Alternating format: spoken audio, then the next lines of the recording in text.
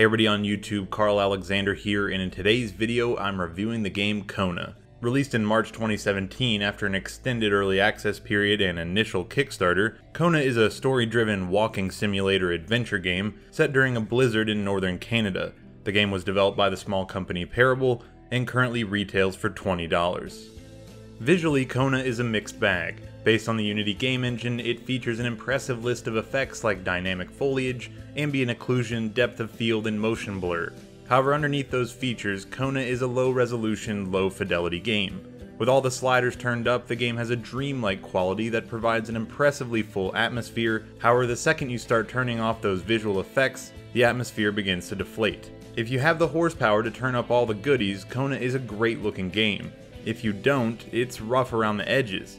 And while I'm not obsessed with graphics, I think in such a story driven game, it's important to keep a consistent aesthetic, and sadly the lower settings of this game just don't provide the same immersive feel. Overall audio quality is quite good, and seems to be a step up from when the game was in early access. The music is appropriate, but in certain locations can be incredibly annoying and repetitive. The mechanic shop has an elevated, suspenseful track, but while struggling to figure out a puzzle, it only became a secondary annoyance on top of the already frustrating puzzle.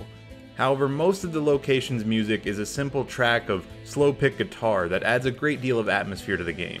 The narration is excellent and holds much of the interest of the story. That had to be the worst parking job ever. Who was Carl to judge, though? It may be customary to park like that around these parts or not. Without that unique voice and performance, the writing may have struggled, but the combination of serious intrigue and humorous observation offers a great commentary to the otherwise slow paced game. Overall, the presentation's attention to detail serves the story well. Things like the floating text around random objects and all the small environmental details makes the village in Kona a portal to another era. It's too bad it suffers on lower graphical settings, but if you have a decent video card from the last few years, you should be fine but on those lower settings, I think something would be lost. Moving on to the story, Kona takes place within a rural lake town in northern Canada. Being in Quebec in the 1970s, the characters seem to be mostly French Canadian, giving them a very specific culture quite literally frozen in time. The player character Carl Faubert is a well-known middle-aged detective who has been hired to solve a simple case of vandalism for a rich industrialist, William Hamilton, who has controversially taken residence in the small rural village. On his way to meet Hamilton, Carl drives into a blizzard and is soon ran off the road by a speeding car.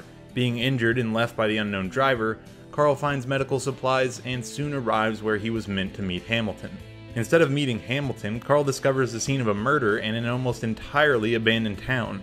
After this, the game leaves you to your own devices. You can explore however you like, though the game does provide hints at where to go, and some locations will be inaccessible until you find certain items. Because of the very short playtime, I don't want to get into spoilers, but essentially the story begins as a simple murder investigation and quickly becomes one into I guess what you would call paranormal phenomena. Beyond the narrator and one lone NPC, the game is devoid of life, and the story is mostly told through journal entries and flashbacks. Luckily, these journals and flashbacks are detailed enough to give a good sense of the story. As you find clues to what happened in the small town, Carl will add entries to his journal. Because the characters in the game are French Canadian, I admit I had some trouble remembering their names. The journal makes this easy and provides detailed descriptions of each person as you learn more about them. Along the way, you can also use a Polaroid camera that will contribute images to the journal, and though this has no bearing on the overall outcome, it's a nice addition for completionists. Anyone familiar with adventure games, 2D or otherwise, will feel right at home with Kona. You need to use clues you find during your adventure to solve small puzzles that will progress you through the story. Adding a bit of what many would define as actual gameplay, Kona does have a simple survival system consisting of a single heat stat that can be replenished by making fires with various resources found in the world. There's also a health bar you can replenish with health packs, and a stamina stat that can be replenished by smoking cigarettes, that will allow you to run for longer periods of time. Alongside the survival system, the game has a very small amount of combat, though it's kind of horrible. The melee and ranged weapons are clunky and are only used in a handful of encounters. Adding to the clunky nature of the combat, the interface somehow got worse from its time in early access. When I played the game in 2016, the game's interface wasn't great, but had quick access menus to things like your map and items. Now the menu system is a more traditional screen that can only be used by hitting the inventory button. It's not horrible, but it's confusing and seems too complicated for what the game is. Trying to select a weapon during a tense scene is not only annoying, but also kills the excitement. Why a quick select menu couldn't be integrated is beyond me. Making the menu situation worse is the vast amount of objects you will obtain throughout the story, and though they do feed into the survival system, there are way too many items to mess around with. The game features a system of using your truck as a storage location for the items you can't hold. After seeing how long Kona is, this doesn't seem justified. I think a smaller, more concentrated amount of objects would have kept the player on track and wouldn't have distracted from the story. This is not a survival game, it's an interactive narrative with a bit of survival tacked on to keep you interested. You don't need to be playing inventory management games in a walking simulator. I only ran into one bug in my playthrough, but it was enough of a bug to be a big letdown. At one point in the game, you can fix up an old snowmobile to get around easier. There appears to be a bug affecting one item that is required to fix the vehicle, and I wasn't able to. There's also a puzzle related to this snowmobile that is worthless without it, so after spending 20 minutes figuring out the puzzle to find out it was related to the bugged snowmobile, I wasn't in a good mood.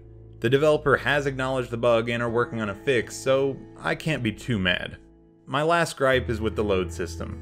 If my memory serves me correctly, in the early access version, Kona was an open world, fully explorable map. The retail version mostly keeps to this, but sadly has annoying load skips when entering a new location, like a person's house or notable location. The loading doesn't actually have a screen, so your only indication is that the entire game just appears to freeze, with a small circular icon rotating in the center. I understand the developers may have ran into a physical limitation with Unity but this load system is clunky. It doesn't ruin the experience, but it feels antiquated to say the least. Even with its flaws, Kona is a gem of a game. I found its overall narrative to be a bit overreaching, but this tends to be the case with many walking simulator type games. I know it's tough to provide a really satisfying payoff, but the mystery here turned out to be somewhat underwhelming. The game constantly hits at something larger happening underneath the surface, but sadly what you see is what you get for the most part. Still, the game's story is one worth exploring and experiencing.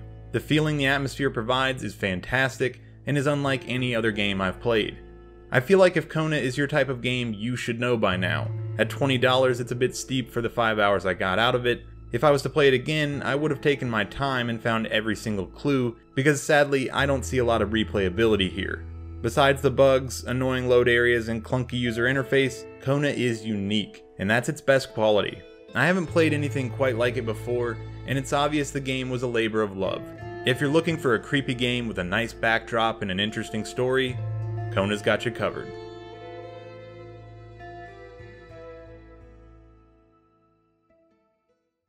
Okay everybody, that was my video for this week. I hope you liked it. If you did, give me a thumbs up. If you didn't, I think you know what to do. Uh, leave me a comment in the comments section. And as always, if you haven't already, hit that subscribe button if you want to see more videos like this one in the future. Coming up next week, I might have a video on bottlenecking the GTX 960. Haven't done a very technical video recently, so that might be a fun one. And then after that one, I will still be doing my Horizon Zero Dawn video. Uh, it's just taken me a while to get through that game, and it's a pretty big game, so uh, be looking out for those videos, and I'll see you in the next one.